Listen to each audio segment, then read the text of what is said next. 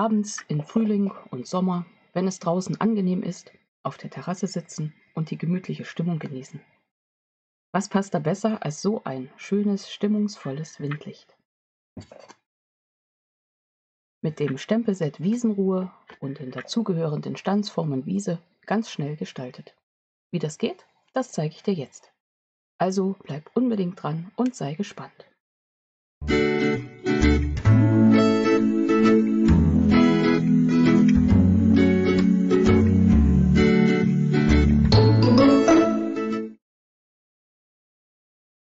Hallo und herzlich willkommen in meiner Kreativwerkstatt. Schön, dass du dabei bist. Ich bin Angela von der Stempelfamilie. Ich bin unabhängige Stampin'-Up-Demonstratorin. Weiter geht es mit den Spielzeugen aus dem neuen Jahreskatalog 2021-22. Du hast ihn noch nicht? Dann bestell ihn doch einfach bei mir. Schreib mir eine Nachricht und du bekommst ihn zugeschickt. Jo, dieses Windlicht steht heute auf meinem Plan mit diesem wunderschönen Stempelset Wiesenruhe und den dazugehörenden Stanzformen. Ich glaube, da kommt ganz viel an Ideen dieses Jahr. Von mir und garantiert auch von anderen. Jo, so einfach und schnell gemacht. Man könnte es jetzt auch in weiß gestalten oder ganz einfarbig oder ganz bunt. Jo, ich habe hier ein Windlicht drin, so ein großes LED-Licht. Kann man natürlich auch ein kleines reinsetzen. Einfach so drüber stülpen. Ich habe das gleiche Windlicht als allererstes der Prototyp sozusagen ganz groß gebaut. Das wird sicher auf meinem Tisch stehen, wo ich rausschauen kann in den schönen Garten mit Wiese. Und ein bisschen Wiese habe ich dann auch auf meinem Tisch. Jo, das kleine zeige ich dir also jetzt und es geht auch gleich los. Gar nicht lange aufhalten. Wir machen hier mal ein bisschen Platz. Ich habe aus dem Jahreskatalog, damit du auch weißt, wo mein Material herkommt, auf der Seite 135, da gibt es so schimmerndes Pergamentpapier. Das benutze ich dafür. Ich habe jetzt in, in, der Farbe, kommt gleich, Papaya. Genau, ich übe immer noch die neuen. Da ist mein Filius wesentlich besser. Der ist ja auch vor mir schon dran und hat schon die in Colors vorgestellt. Ich hinge etwas hinterher. Ich habe ein Stück zugeschnitten in den Maßen 10 x 20 cm und da kann man ganz schnell ausrechnen, da kann ich aus so einem Blatt, hier sind alle in Colorfarben drin, könnte ich aus einem Blatt gleich vier solche Windlichter bauen. In der Packung sind zehn Bögen Papier drin. Ja. Fertig zugeschnitten, viel mehr passiert auch nicht. Ich brauche doppelseitiges Abreißklebeband, Glue Dots für die Notfälle und Stanzformen. Da habe ich schon mal vorbereitet, habe ja hier schon gezeigt. Die Stanzform Wiese habe ich benutzt. Und hier habe ich meine ausgestanzten Formen drin. Gestanzt diesmal in Seladon, in Lodengrün und in Grundweiß. Wie machen wir das? Wir wollen ja immer so einfach, schnell und kurz und knackig basteln. Hier siehst du, habe ich hauptsächlich auf, diesen, auf der einen Seite praktisch die Gräser angeordnet. Bei dieser Laterne habe ich es reihum gemacht. Ich werde es jetzt hier auch nochmal wahrscheinlich einseitig machen, aber das weiß man bei mir nie ganz so genau. Zuallererst nehme ich das doppelseitige Abreißklebeband. Suche den Anfang, auch das kann dauern. Hier ist er. Klebe ihm so im unteren Drittel auf. Einmal quer rüber, komplett. So, das ist schon mal der Anfang. Schön andrücken. Notfalls nochmal das Falzbein nehmen und richtig drüber schleudern.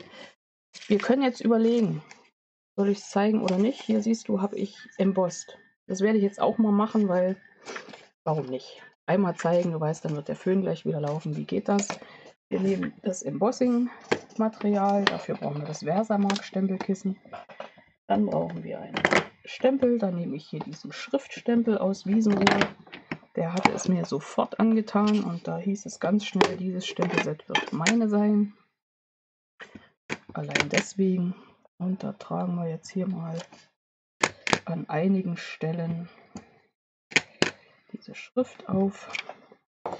Dieses Papier, Pergamentpapier, das hat so eine angeraute Oberfläche. Und wer das nicht mag, nimmt die andere Seite.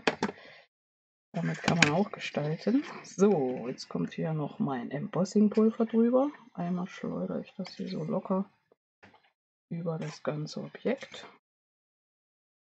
Und dann nochmal in die andere Seite. Wenn hier irgendwo Punkte auf der Unterlage sind, werden sie weggepustet oder Wir haben da so einen klitzekleinen Pinsel. Damit können wir auch noch mal ein bisschen versäubern. Das machen wir auch. So, und dann, du kennst das sicher schon, kommt mein Embossing-Föhn zum Einsatz. Zeige ich mal hier rüber. Gut an der Stromquelle. Und Technik nicht zerstören. Und einmal kurz föhnen.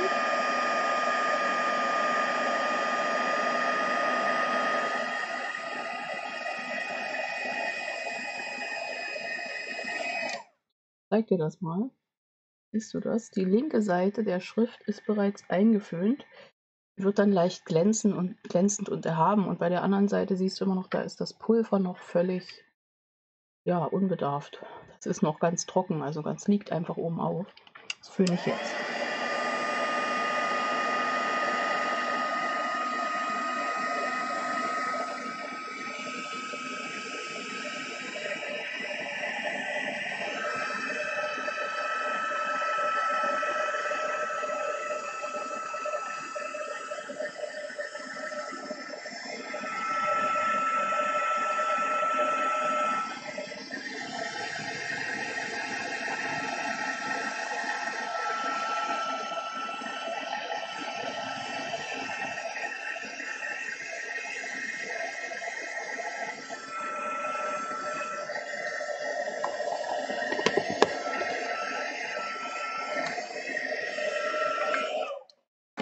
So, dir anschauen, das ist der fertige embosste Effekt. Das ist überall jetzt angeföhnt und gibt so einen schönen Effekt, so einen nostalgischen.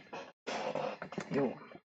Kurz beiseite räumen und jetzt geht's los. Ich nehme meine Kräuter hier aus meiner Kräuterkiste sozusagen. Und wenn da noch irgendwo Standsteile drin sind, ist das auch nicht schlimm, dann drücke ich die mal schnell raus. Überlege mir, dass ich eine Mitte hier auf dem Blatt ansetze. Ziehe jetzt natürlich meinen Klebestreifen hier unten ab und fixiere ganz einfach meine Gräser der Reihe nach hier auf der Unterlage. Und so, dass sie unten können sie überstehen, schneiden wir gleich ab. Und oben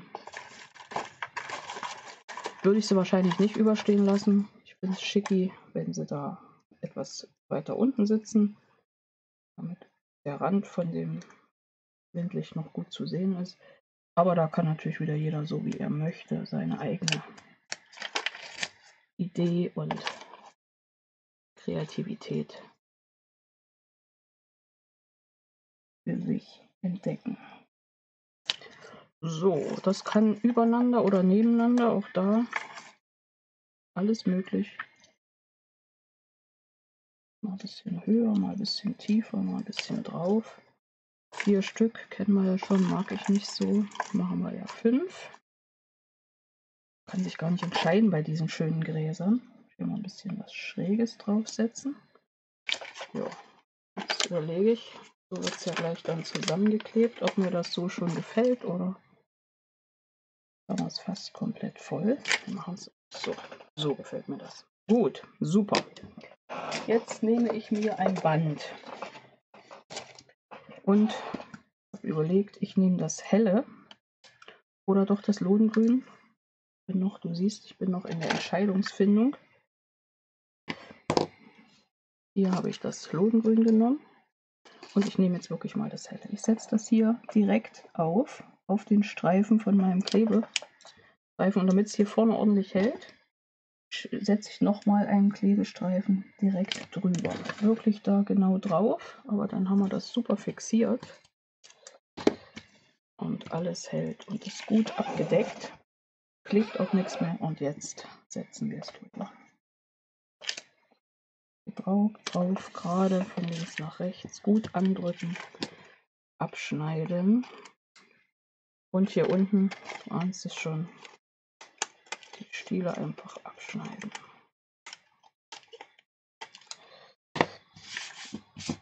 Tisch sauber machen. Kräuterkiste. Dann nehmen wir uns noch so ein Schild drauf. Das ist ja auch in den Stanzformen drin. Dieses stempeln wir dann gleich. Und dann habe ich noch ein paar Schmetterlinge.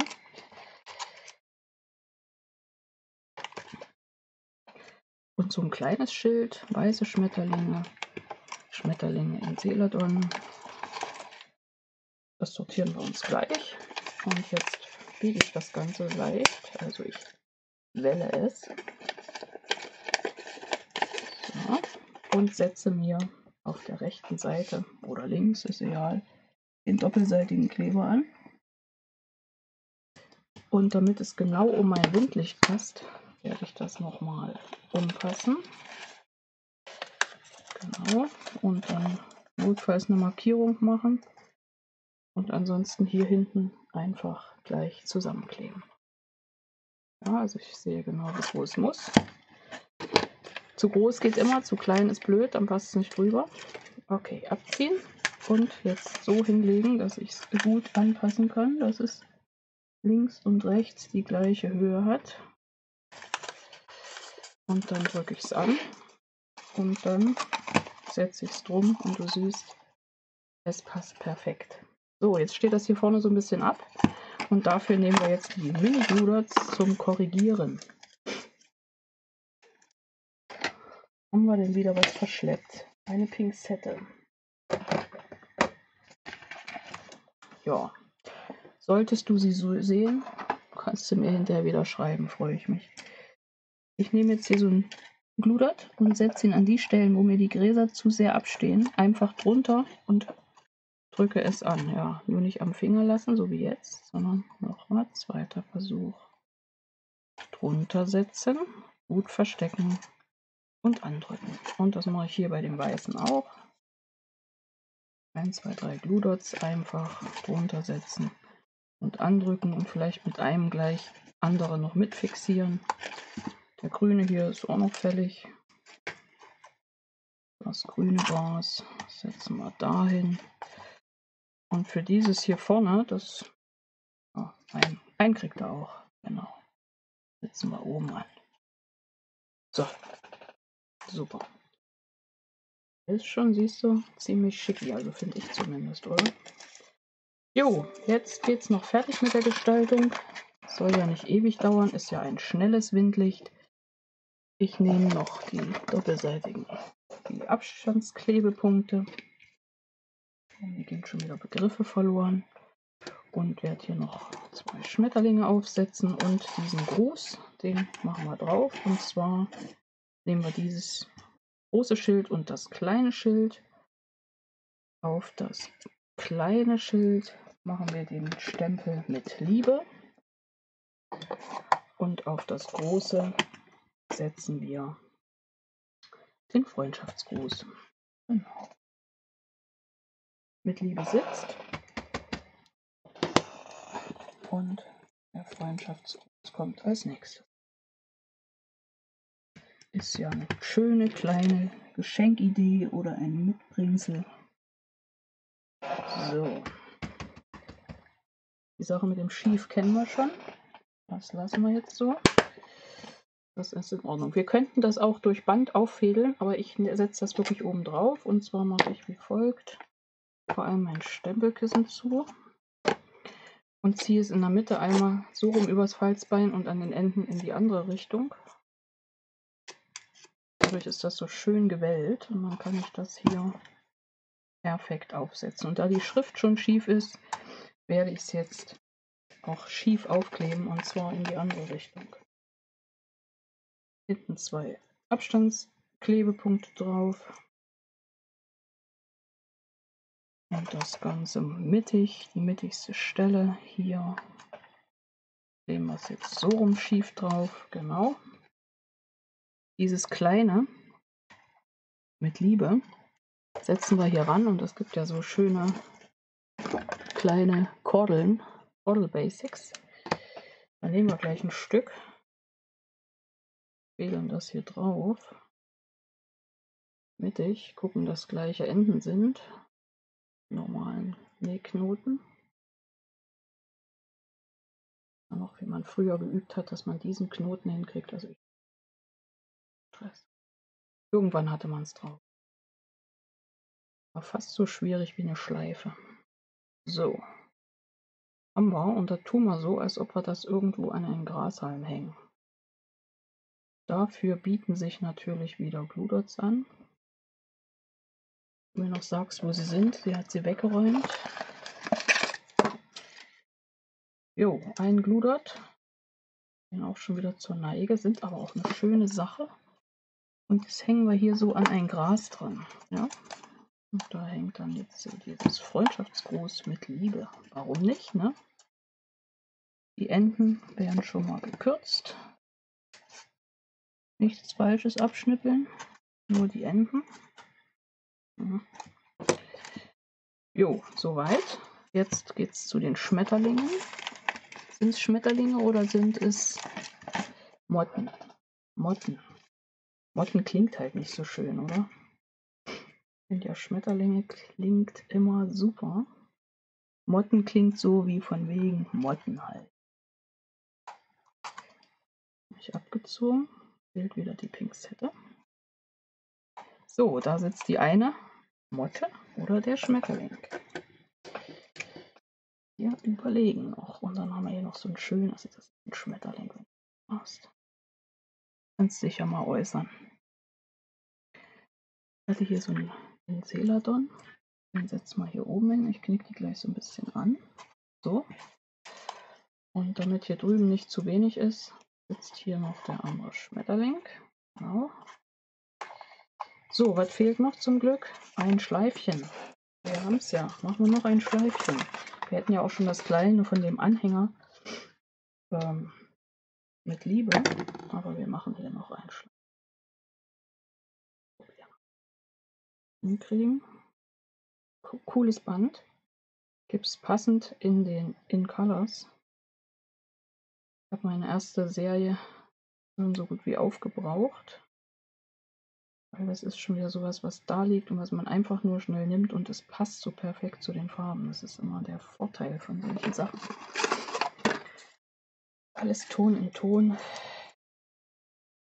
Jo, wenn du sehen willst, wie der Stempelnerd mit den In Colors spielt, schau dir sein Video an. Ich verlinke das gern mal ganz begeistert, wenn der Stempelnerd spielt. So, jetzt kommt die Schleife wohin? Ja, es soll auch nicht zu viel werden. Ich setze die mal hier unten hin. Warum nicht? So. Ein bisschen abschnippeln. Jo, fertig. Fertig. Ein sommerliches, kleines Windlicht mit vielen Gräsern, passend zur Wiese, im Garten oder auf dem Balkon oder auf der Terrasse oder hinter dem warmen, also drin, hinter der warmen Scheibe. Wunderschöne Idee, finde ich, gut zu verschenken. Ich hoffe, es gefällt dir genauso wie mir. Dann gib mir doch unbedingt einen Daumen hoch. Und willst du meine Idee nachbasteln, dann speicher sie am besten in einer Playlist. Dann brauchst du später nicht lange suchen. Hast du Fragen zu den Projekten, zu den verwendeten Materialien, frag einfach. Abonniere meinen Kanal, klicke auf die Glocke neben dem Abo-Button. Das kostet dich nichts, aber du verpasst keine meiner weiteren Videos, Ideen und Anleitungen. Die verwendeten Materialien sind von der Firma Stampin' Up. Du kannst sie direkt über mich bestellen. Alle Maße findest du auch auf meinem Blog www.stempelfamilie.blogspot.de. Nun wünsche ich dir kreative Zeiten. Bis zum nächsten Mal. Ich freue mich drauf. Deine Angela von der Stempelfamilie.